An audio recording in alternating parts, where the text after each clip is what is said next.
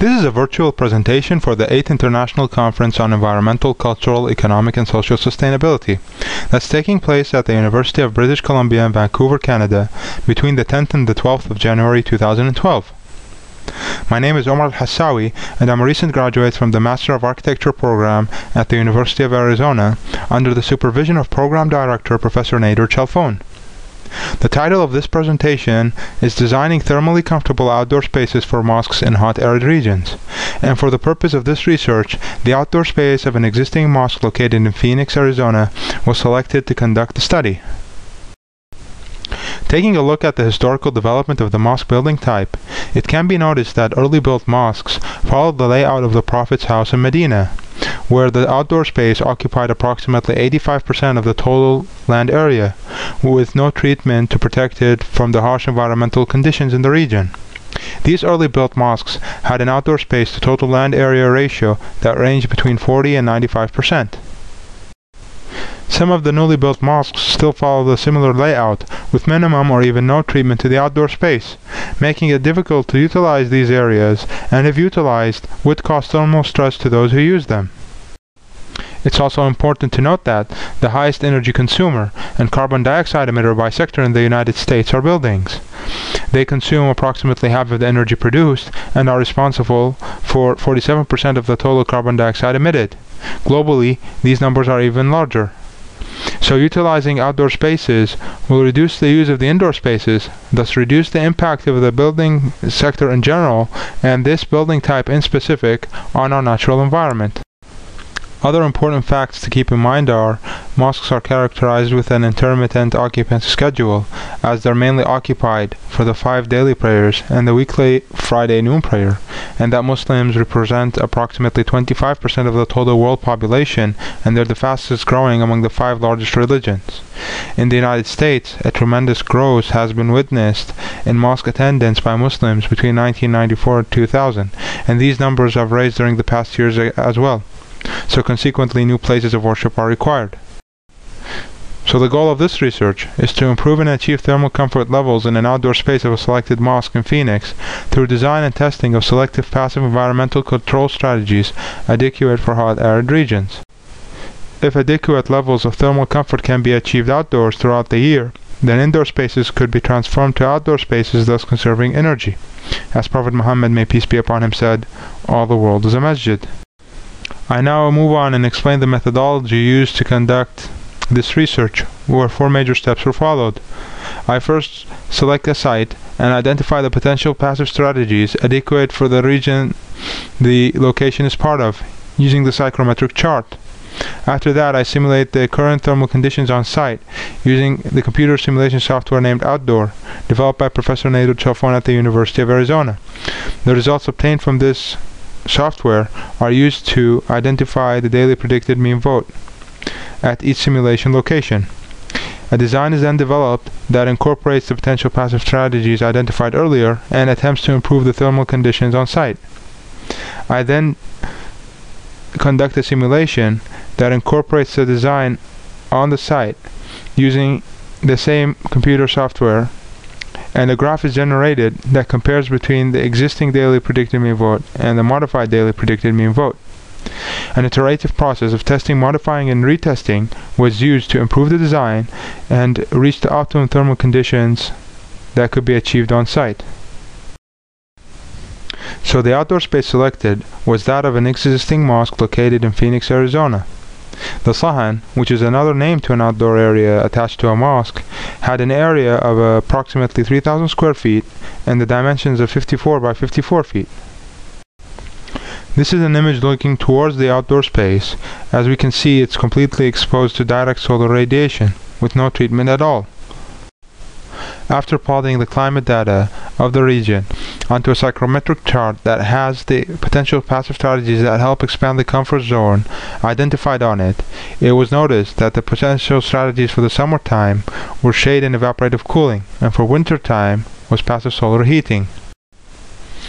The existing thermal conditions were simulated using the computer software named Outdoor at five critical locations on the site. The date of June 17 was the summer day selected to conduct in this study. This software calculates the effective temperature that takes into account the impact of the surrounding radiative fields on our bodies. But in order to account for these radiative fields, fisheye images at each simulation location for each one of the five daily prayers had to be taken and these images had to be superimposed on a polar grid in order to calculate the percentage of exposure of our bodies at that simulation location to those surrounding radiative fields. So the results from the software were used to identify the daily thermal conditions at each simulation location through two graphs. One that plots the daily predicted mean vote and the other that compares between the actual effective temperature and the dry bulb temperature measured by a thermometer. It was noticed that during the afternoon prayers, the actual effective temperature was approximately 115 degrees, whereas the dry bulb temperature was 99 degrees. A graph that overlays the daily predicted mean votes of all the simulation locations was then generated, and it was noticed that thermal conditions during the morning, noon, and afternoon prayers needed significant modification, whereas that during the sunset and nighttime prayers needed minimal modification. Moving on to the design, in order to incorporate evaporative cooling in the design strategy, cool towers were utilized. These towers use cellulose pads wetted by water on the top portion of the tower shaft. As hot air passes through these wetted pads, the moisture content in that air increases. Thus, the weight of this air increases and drops by gravity through the tower shaft and into the space being cooled underneath. Several examples that utilize this design strategy can be found at the Environmental Research Lab Cool Tower in Tucson, Arizona, and the Mumra Environmental Roda in Saudi Arabia. In order to calculate the size of these cool towers, the cooling load had to be identified. This was calculated by multiplying the footprint of the Sahan by the height of 4 feet, which is enough to cover the head of a worshipper while performing his prayers in the seated position. Also, the openings on the east side of the Sahan had to be closed in order to maintain the cool air in the space for a longer period of time. Several iterations were developed on the size and the number of these cool towers using the CoolT software generated at the Environmental Research Lab at the University of Arizona. The option that utilizes four cool towers distributed evenly in the space was the one selected for this design as it provides better air distribution, more locations with low temperatures, and it allows for a shading strategy to be integrated onto each one of the tower shafts. The structure of this tower was made out of aluminum, and the enclosure was defined by a Teflon-coated woven fiberglass fabric. In order for the shading strategy to provide passive solar heating during winter times and to protect from direct solar radiation during summer times, a retractable shading device had to be developed.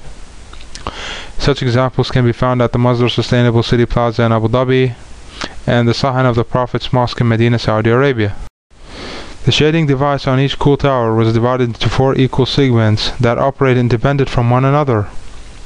The material used to build these shading devices was proposed to be Teflon coated woven fiberglass fabric similar to that used to enclose the tower shaft. Several iterations were developed on the operation of the fabric structure from a partially porous flat surface in the schematic design to a completely retractable surface onto the tower shaft faces in the final design. Here's an image of the physical model developed to study the operation of the shading device. As we can see, the operation of one segment of the shading structure from its completely deployable to its completely retractable position.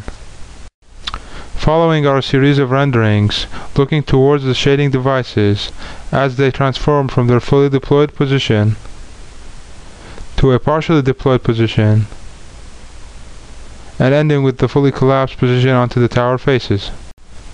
In order to evaluate the performance of the proposed design, a thermal simulation that incorporates the tower structure and shading device in the space had to be conducted, and the procedure mentioned earlier in the study for the simulation had to be followed. The effect of the shading on the thermal conditions was simulated at the beginning.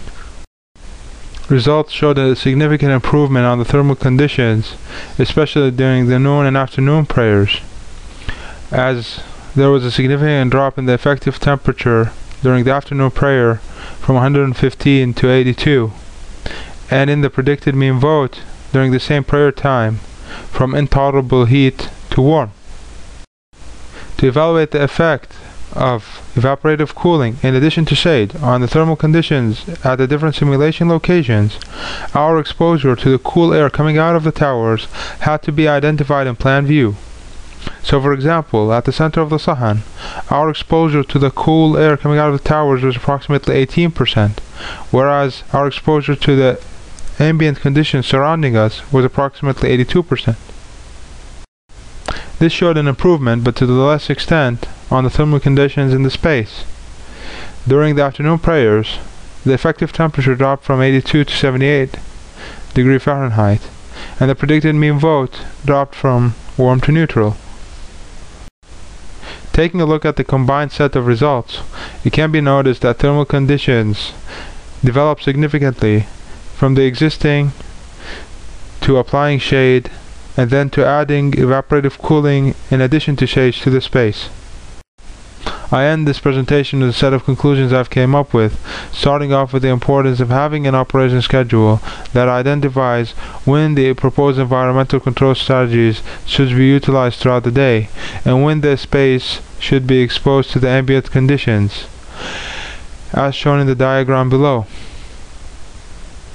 It's important to note that 75% of the improvement in thermal conditions was caused by the convertible shading device, and that the other 25 was caused by evaporative cooling via cool towers in addition to the shading strategy, which was less than expected. Finally, the modularity of the proposal and its minimum interference with horizontal circulation creates a versatile design that could be applied in outdoor spaces other than those related to mosques. I'd like to thank you for listening and would welcome any questions or suggestions about this research and presentation on the email address listed above. Thank you again.